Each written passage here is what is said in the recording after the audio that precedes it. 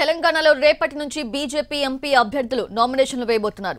రేపు Medak Malkajgiri Mahabubnagar BJP అభ్యర్థులు నామినేషన్లు దాఖలు చేయనున్నారు.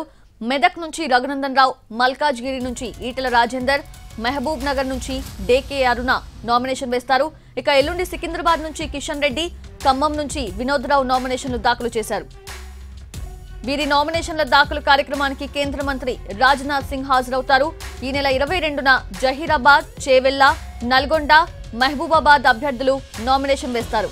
జహీరాబాద్ నుంచి బీబీ పాటిల్ చేవెల్లా నుంచి కొండా విశ్వేశ్వరరెడ్డి నల్గొండ నుంచి సైద్ రెడ్డి మహబూబాబాద్ నుంచి సీతారాం నాయక్ నామినేషన్ వేయనున్నారు.